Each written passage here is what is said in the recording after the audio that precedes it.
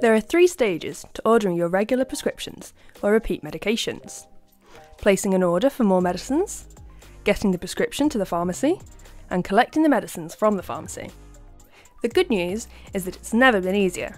You can even organise it all remotely at any hour of the day or night from the comfort of your own home. There really is no excuse for running out of drugs.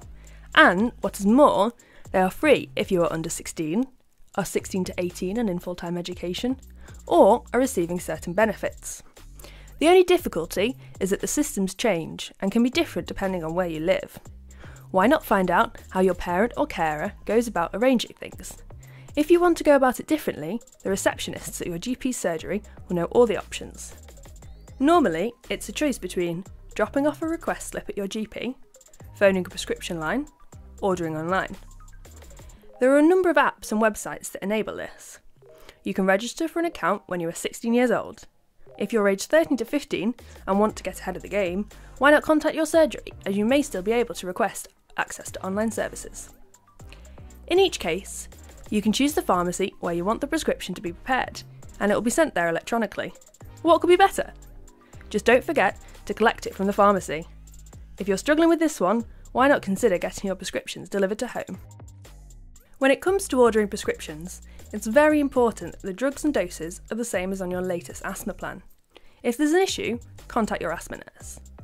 You should also check the expiry dates of your drugs, as you should not take out of date medicines. It's good to store your medicines in one place so that you can easily rotate and check your stock. Remember to avoid extremes of temperatures, as your medicines can be just as sensitive as you on that front. If you're unsure, read the drug information leaflet.